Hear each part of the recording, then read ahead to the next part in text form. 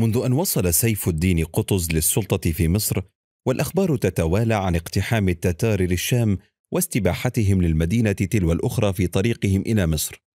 حتى وصلت رسلهم ووقفت أمام قطز وهو في أيامه الأولى على عرشه تقرأ الرسالة الآتية من ملك الملوك شرقا وغربا القائد الأعظم باسمك اللهم باسط الأرض ورافع السماء. نعلم أمير مصر قطز الذي هو من جنس المماليك الذين هربوا من سيوفنا إلى هذه الأرض بعد أن بيعوا إلى التجار بأبخس الأثمان. سلموا إلينا الأمر تسلموا. قبل أن ينكشف الغطاء فتندموا. وقد سمعتم أننا خربنا البلاد وقتلنا العباد. فخيولنا سوابق وسيوفنا صواعق وقلوبنا كالجبال وعددنا كالرمال. فلا تهلكوا أنفسكم بأيديكم. وفي آخر الرسالة حذره من أن يلقى مصير الخلافة العباسية المنكوبة في بغداد. فما كان من قطز إلا أن رد على الرسالة ردا عمليا حيث قتل رسل هولاكو وعلقهم على أبواب القاهرة. ثم نادى في البلاد للخروج لحرب التتار فاستجاب له جند من مصر ومن الشام واجتمع تحت يديه قرابة أربعين ألفا من الجند. والتقى بالتتار عند عين جالوت من أرض فلسطين. واشتعل القتال بين الطرفين وانطلق جيش التتار في حملة شديدة كادوا أن يكسروا فيها جيش المسلمين. فما إن رأى قطز ذلك حتى نزل عن فرسه وخلع عنه خوذته في وسط المعركة صائحا وإسلاماه فإذا بجند الإسلام ينقضون على جيش التتار فتنكسر هجمتهم وتتخلخل صفوفهم وينهزم جيشهم لأول مرة منذ خروجهم لغزو أمة الإسلام وزال خطرهم. واستقر حكم قطز في كل من مصر والشام. وجاهدوا في الله حق جهاده هو اجتباكم وما جعل عليكم في الدين من حرج. ملة أبيكم إبراهيم هو سماكم المسلمين. من قبل وفي هذا ليكون الرسول شهيدا عليكم وتكونوا شهداء على الناس فأقيموا الصلاة وآتوا الزكاة واعتصموا بالله هو مولاكم فنعم المولى ونعم النصير. عمرو شاب صالح تقي يسكن بالعاصمة. بعد تخرجه من الجامعة بحث طويلا عن عمل يقدر إمكانياته ومواهبه. حتى تم قبوله بشركة أجنبية تبعد عن العاصمة 500 كيلومتر. ففرح كثيرا لأنه سيستطيع من خلال هذه الوظيفة تجهيز أخته الشابة والإنفاق على أمه وأخيه الصغير بعد مرض والده وعدم استطاعته العمل. وفي إحدى إجازات عمرو التي تستمر أربعة أيام كل شهر علم فجأة من شقيقته أن خطيبها حدد موعد الزفاف مع والدها وسيكون بعد أسبوع واحد نظرا لسفر خطيبها. فحزن عمرو كثيرا لأنه كان يريد حضور حفل الزفاف. كما حزنت أخته وحاولت تأجيل الزفاف لإجازة أخيها المقبلة ولكنها لم تستطع. وبعد انتهاء إجازة عمرو ركب الحافلة للعودة إلى عمله بالشركة الأجنبية الصارمة في مواعيدها وكان قلبه يعتصر ألما لعدم حضور زفاف أخته الذي سيتم بعد ثلاثة أيام. ومع تحرك الحافلة على صوت السائق هناك راكب لم يدفع أجرته وهي مئة جنيه. بدأ الركاب ينظرون لبعضهم البعض حينها جاء راكب إلى عمرو وقال له أتوسل إليك؟ ادفع لي الأجرة. فقد فقدت حافظة نقودي ولم أعرف إلا الآن. تذكر عمرو قول الله تعالى وما أنفقتم من شيء فهو يخلفه وهو خير الرازقين. وبكل شهامة دفع الأجرة المتبقية للسائق وأعطى الراكب مئة جنيه أخرى لينفق منها. فدعا له الراكب دعوات أدخلت البهجة إلى قلبه. وفي هذه اللحظة تلقى عمرو اتصالا من مديره في العمل. وبعد أن علم المدير أن عمرو يستقل الحافلة وفي الطريق إليه قال له عد إلى العاصمة الآن واذهب إلى المطبعة التي نتعامل معها. وفي الموعد الذي ستحدده لك استلم المطبوعات وعد إلينا.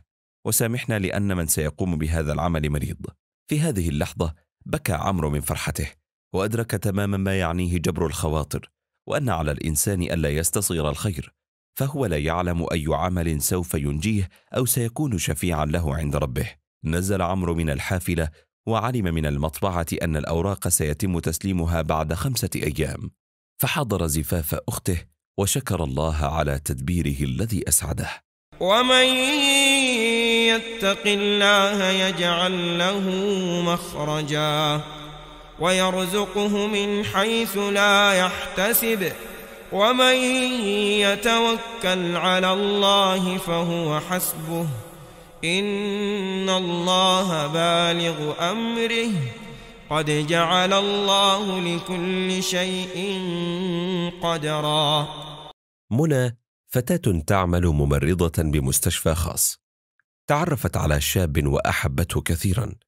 وعندما تقدم لأهلها لخطبتها سأل الأب عنه وعرف أنه لا يتقي الله فرفض الخطوبة ولكن منى أصرت على زواجه دون موافقة والدها. فذكرها الأب بحديث النبي صلى الله عليه وسلم رضا الرب في رضا الوالدين وسخطه في سخطهما ولكنها أصرت على موقفها وتم الزواج وقاطعت الأسرة ابنتها. وبعد شهر واحد جاء لمنى عقد عمل بدولة خليجية فترددت ولكن الزوج حرضها على التعاقد فورا كما ألحت عليها زميلتها في العمل باستغلال هذه الفرصة وسافرت منى دون محرم ومر عليها العام الأول ثقيلا مملا فأبدت للزوج رغبتها في العودة وتنهي تعاقدها لتعيش معه وتحقق أملها في إنجاب أطفال. فرفض طلبها وحثها على الاستمرار والصبر على الغربة املا في تحقيق منزل جميل وسيارة فارهة وحساب في البنك. فاستمرت في غربتها وأخذت ترسل راتبها له. وبعد ثلاثة أعوام من الغربة فوجئت منى بوالدها يتصل بها ويطلب منها مبلغا كبيرا يحتاج إليه. ففرحت كثيرا وأرسلت له مرتب عام كامل اقترضته من إدارة المستشفى على أن تسدده من راتبها. وبعد خمس سنوات من الغربة استقلت منى الطائرة للعودة وفي المطار لم تجد زوجها في استقبالها فتوجهت للبيت ودقت جرس الباب ففتحت لها سيدة تحمل طفلا ويمسك بثوبها آخر وعندما دققت النظر فيها وجدتها زميلتها في العمل وأخبرتها أنها تزوجت زوجها بعد أن طلقها غيابيا فأغمي عليها وعندما أفاقت وجدت نفسها في بيت أهلها. يعاملونها بكل حب. فاعتذرت لوالديها وأخبرتهما أنها وبرغم فقدانها لكل شيء إلا أن ما فقدته لا يساوي حضنا من أحضانهما وأنها دفعت ثمن عصيانهما وتمسكها برجل خادع. فابتسم الأب وقال لها لم تفقدي كل شيء فالمبلغ الكبير الذي أرسلته لي ادخرته لك بعدما علمت بأن زوجك ينفق ما ترسليه على المخدرات والخمور. وقد دفع ثمن غدره بك عندما تم القبض عليه وإلقائه بالسجن لشروعه في قتل صديق له وهو مخمور. والآن أمامك الفرصة لتعوضي ما فاتك بالتوبة إلى الله وإرضائه دائما. يا أيها الذين آمنوا اتقوا الله ولتنظر نفس ما قدمت لغد واتقوا الله ان الله خبير بما تعملون ولا تكونوا كالذين نسوا الله فانساهم انفسهم أولئك هم الفاسقون لا يستوي أصحاب النار وأصحاب الجنة أصحاب الجنة هم الفائزون. لو أنزلنا هذا القرآن على جبل لرأيته خاشعا متصدعا من خشية الله. وتلك الأمثال نضربها للناس لعلهم يتفكرون. هو الله الذي لا إله إلا هو عالم الغيب والشهادة. هو الرحمن الرحيم.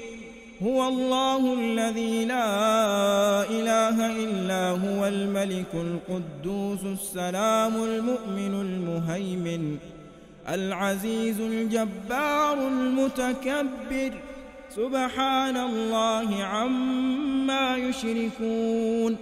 هو الله الخالق البارئ المصور له الأسماء الحسنى. يسبح له ما في السماوات والأرض وهو العزيز الحكيم.